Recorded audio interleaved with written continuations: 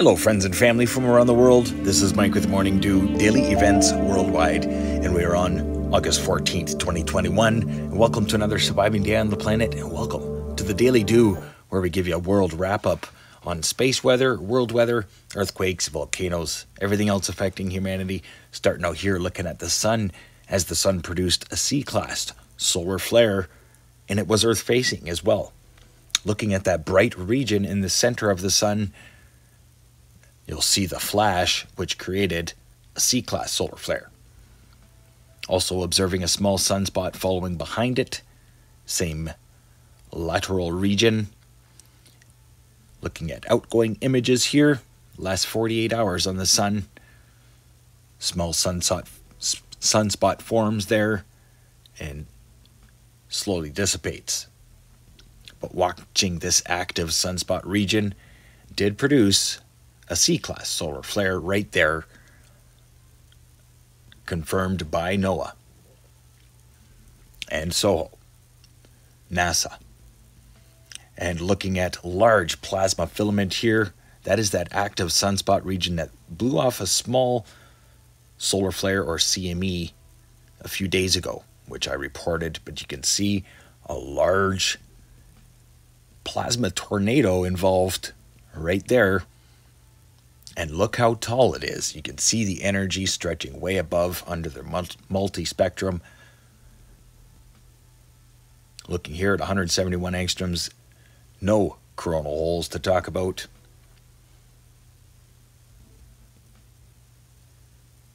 Looking here at LASCO 2 and 3, you can see a CME was also shot away, but not in our direction.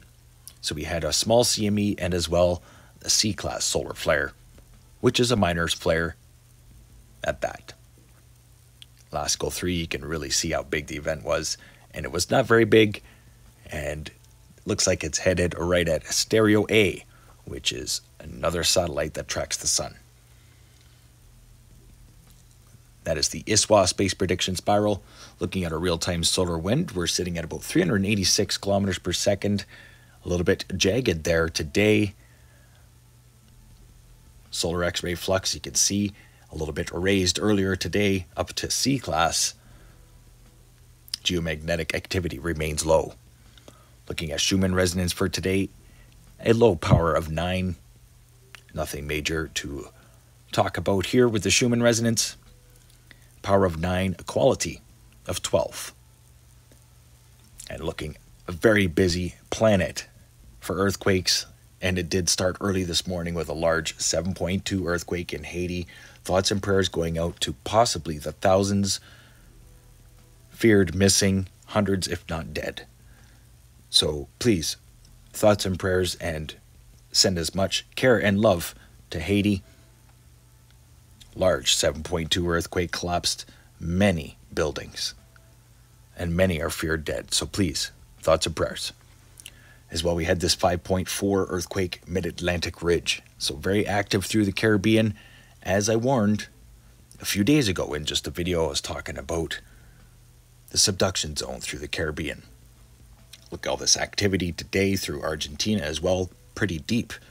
110 and 116 kilometer depth through Argentina, and as well, South Sandwich Islands into the Antarctic plate are still going and sizable too, 5.0s.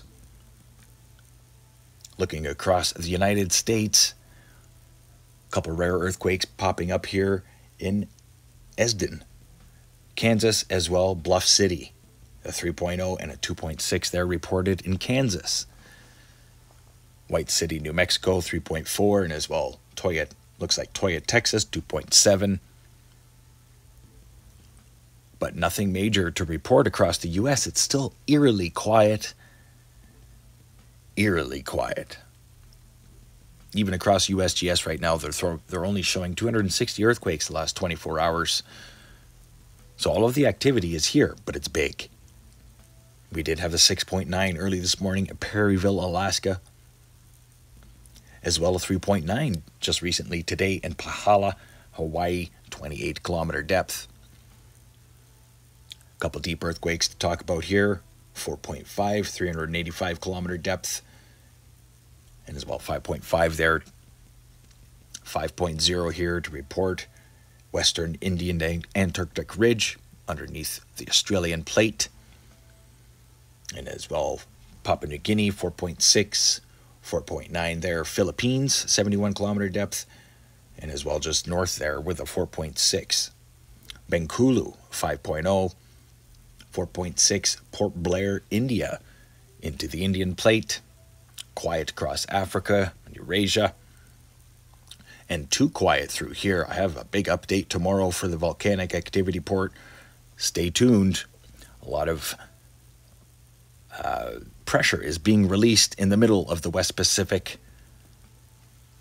Stay tuned for the, for the volcanic activity report, which will be coming tomorrow. Looking at the last seven days for earthquakes across the planet, we're looking at it almost looks like a pincushion here, and as well many elevated rings throughout the last seven days. Large earthquakes, Alaska, large earthquakes, Central America, large earthquakes, South Sandwich Islands, and many earthquakes across the rest of the world as well. The only place that is really quiet is Africa. And by the way, it just snowed there in higher elevations. Still recording some pretty cold temperatures. Heads up, North America, way too quiet. Subduction zone, Juan de Fuca. Let's have a look at the Pacific Disaster Center showing the most recent volcanoes getting updated. Looking here at Popo in Mexico, uh, Fukutoku, Okanoba, and that is a Japan volcano, and as well Nishinoshima has awakened again, Karymsky, uh, Sharinkatan in Russia, Sabancaya in Peru, Fuego in Guatemala, Semisopochnoi in United States, Alaskan Peninsula, as well Pavlov, which isn't listed here, Reventador in Ecuador, Nevados de Chillán and Nevados de Ruiz, Merapi, Sheveluch in Russia, Sangay in Ecuador. That's about 13 volcanoes getting updated today, folks. Stay tuned for the volcanic activity report as the number has gone up this week. That will be coming up tomorrow. Week 32 volcanic activity report, and as well planetary positioning. Looking across the planet right now, we have three tropical storms named. We have Tropical Depression Fred, who is heading into the Florida Panhandle right now and then into Florida Georgia border. We also have Tropical Storm Grace, who is following in behind there, heading to the Caribbean. No major threats there for formation. We also have a very strong Hurricane Linda, who was a Category 4 overnight, whipped up into a very strong Category 4, packing winds of over 235 kilometer winds. And that's going to be heading westward.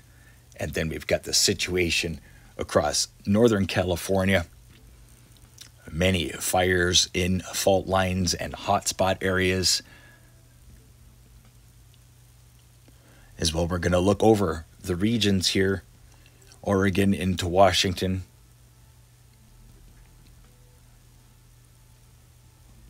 Washington into Montana.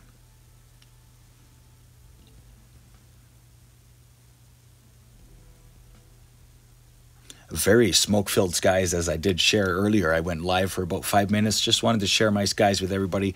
Thanks to everybody who got in there and said hi.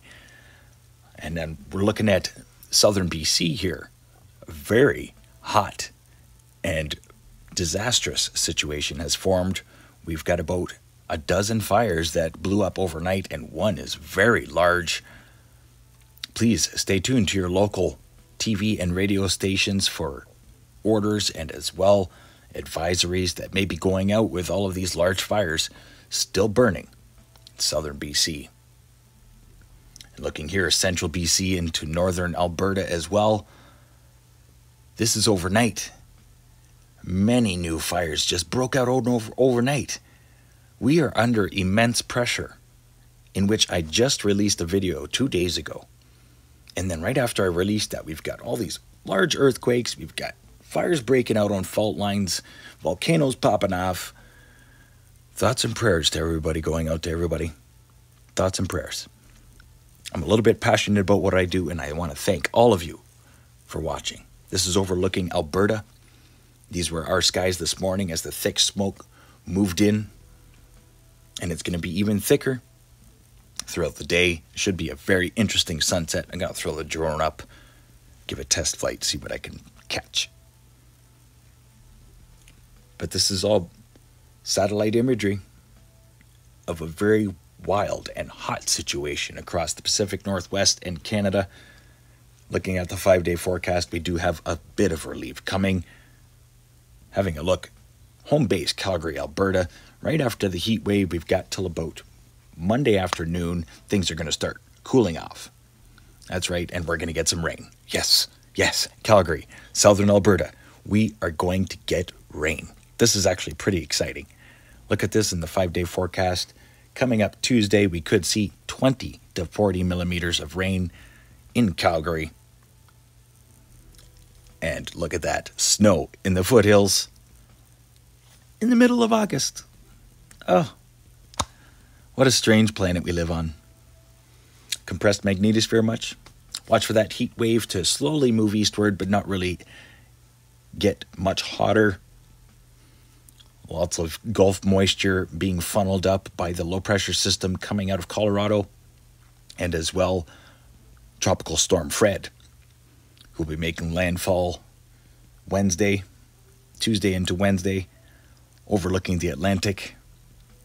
Doesn't really look like that high pressure ridge has been smashed just yet. Got a pretty strong system heading into the United Kingdom this week. Watch for pretty strong winds with that one. And as well, a very well organized low pressure system here moving through northern parts of Europe.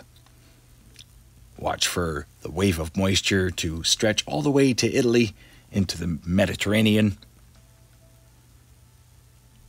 Overlooking Southeast Asia, Russia, and as well the West Indies.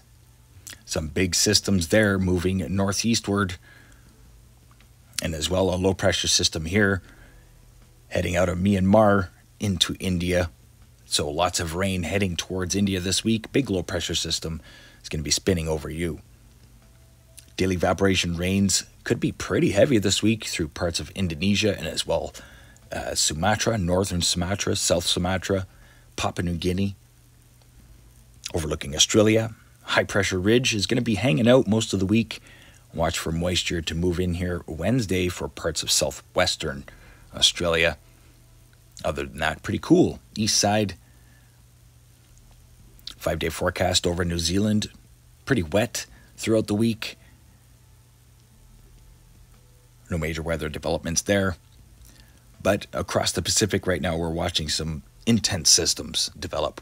We've got one, that's an area of interest for me. Two, three, we've got at least four areas of interest developing in the West Pacific right now. And we've got some interesting, strong low pressure systems that are going to be coming into northern BC and Alaska later in the week. So watch for very strong winds. Hopefully, there's a lot of rain coupled and putting out those fires.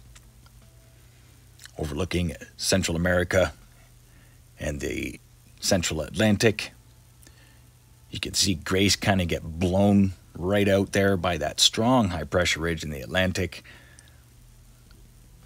And then Hurricane Linda here looks like it's going to keep formation and do a little zigzag, a little wave over to Hawaii. Looking at daily evaporation rains through Southern America, South America, possibly heavy and very warm through parts of Colombia this week. The heat is on. As well through Argentina southern Argentina. Watch for a big system to affect you guys this week. Watch for heavy amounts of snow through the mountain regions here as that low pressure system comes in. Overlooking Africa, no major weather events except for daily evaporation rains could be heavy in the week in the long range forecast through Congo. But we've got one, two, three low pressure systems here that are going to be forming throughout the week. They could be developed Atlantic hurricanes in the long range forecast. as well. You got a low pressure system there heading into Madagascar. Very warm temperatures across Arabia and as well Egypt this week, topping out at about 45 degrees Celsius. Going to leave you here looking at the southern hemisphere versus the northern, pointing out the major systems that are affecting our planet right now. Thanks everybody for watching today. This has been Mike with Morning Dew. Daily events worldwide. Stay aware and prepared. Stay young and have fun. And get your morning dew. Bye bye now.